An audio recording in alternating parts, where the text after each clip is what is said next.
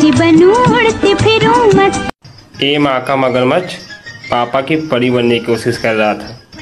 निकल गया पापा का परा बनने के लिए। मुँह और गोटे दोनों खुलवा लाया मादर चोर। पंछी बनूं भाई भाई भाई